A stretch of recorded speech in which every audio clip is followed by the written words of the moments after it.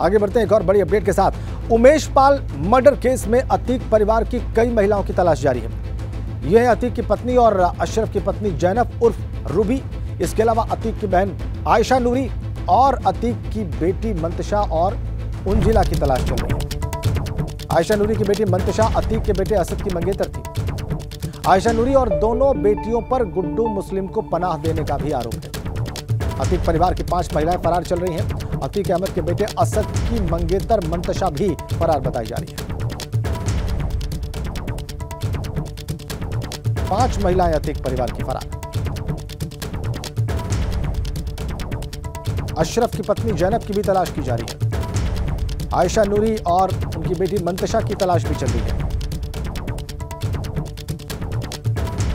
आयशा नूरी की बेटी मंतशा अतीक के बेटे असद की मंगेतर थी।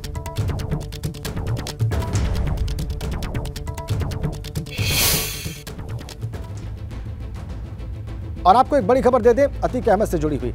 अतीक ने जिन संपत्तियों को कब्जा किया, उसे अब मुक्त कराने के प्रयास चल रहे हैं। कब्जा मुक्त कराने के लिए आयोग बनाने की तैयारी में भी है पूरी सरकार। यूपी सरकार अब एक आयोग बनाने की तैयारी में है, कब्जा की गई संपत्तियों को मुक्त कराने के लिए। और जल्द इस आयोग के गठन का ऐलान हो सकता है। अतीक अहमद से सताए लोगों की एप्लीकेशन भी ली जाएँगी। किसी तरह से जमीनें वापस होंगी इसका इसका तरीका क्या होगा? इस पर यह आयोग काम करेगा। किस प्रोसीजर से ये जमीनें और ये प्रॉपर्टी वापस की जाएगी, इस पर आयोग काम करेगा। आपको बताएँ कि लोगों की काफ़ी जमीनों को अतीक ने कब्जा किया हुआ था, जो अब धीरे धीरे मामले सामने आ रहे हैं।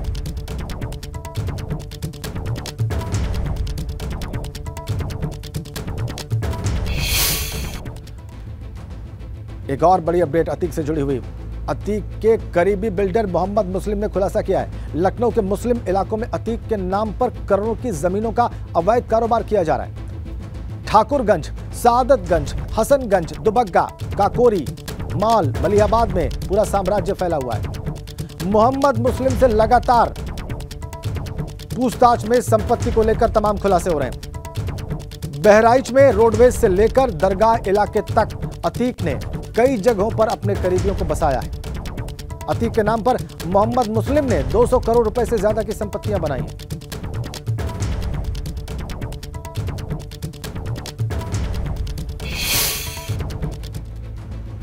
इधर उमेश हत्याकांड को लेकर एसआईटी ने अपनी जाँच का दायरा बढ़ा दिया है। एसआईटी के रडार पर शेर अतीक व्हाट्सएप ग्रुप के 200 मेंबर्स हैं। अतीक के बेटे असद ने बनाया था शेर अतीक के नाम से एक व्हाट्सएप ग्रुप। यूपी में प्रयागराज, कौशाम्बी और फतेहपुर के करीब 200 युवक इस व्हाट्सएप ग्रुप से जुड़े हुए थे। उमेश पाल हत्याकांड से कुछ दिन पहले इस व्हाट्सएप ग्रुप को डिलीट कर दिया गया था। उमेश पाल हत्याकांड से ठीक पहले ग्रुप बंद होने की भी एसआईटी जाँच कर रही है। नाम था इस व्हाट्सएप ग्रुप का शेर ए अतीक। देखिए आप 200 युवक इससे जुड़े हुए थे। सारे इस वक्त रडार पर हैं एसआईटी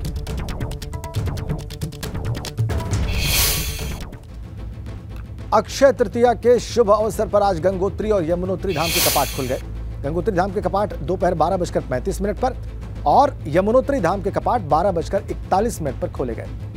गंगोत्री धाम के कपाट मुख्यमंत्री धामी की उपस्थिति में खोले गए और इस दौरान मुख्यमंत्री ने गंगोत्री धाम में विधिवत पूजा अर्चना भी की। इससे पहले सीएम धामी ने गंगा नदी की पूजा की, भगीरथी की धारा की पूजा की। सीएम धामी ने यमुनोत्री धाम के गाँव में भी वो पहुँचे थे। और यमुनोत्री धाम के कपाट खोले जाने के वक्त हज़ारों लोगों की भीड़ वहाँ पर मौजूद थी। श्रद्धालुओं के जयकारों से आसमान गूंज उठा।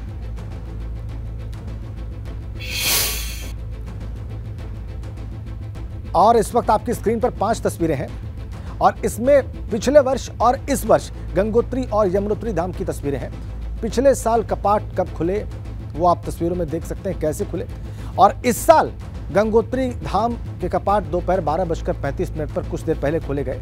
उसकी तस्वीरें भी है, जबकि यमुनोत्री धाम के कपाट बारह बजकर इकतालीस मिनट पर अभी थोड़ी देर पहले खुले हैं। और इस तरीके से अक्षय तृतीया के दिन ये शुभ यात्रा शुरू हो गई है।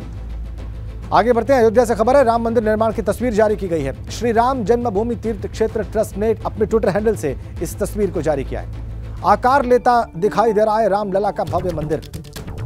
ये देखिए आप। यही वो तस्वीर है, जिसे श्री राम जन्मभूमि तीर्थ क्षेत्र ट्रस्ट के आधिकारिक ट्विटर हैंडल से जारी किया गया है। मंदिर निर्माण कार्य में छत की ढलाई का काम भी शुरू हो गया है। ये इन तस्वीरों से बिल्कुल साफ़ है। एक्सक्लूसिव तस्वीरें। श्री राम जन्मभूमि तीर्थ क्षेत्र ट्रस्ट ने इसको जारी किया देखिए कैसे आकार ले रहा है। दिव्य और भव्य राम मंदिर अयोध्या में।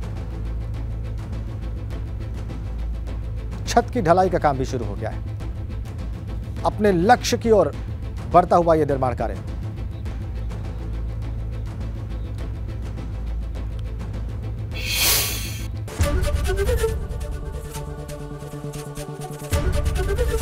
एबीपी गंगा, खबर आपकी जुबा आपकी।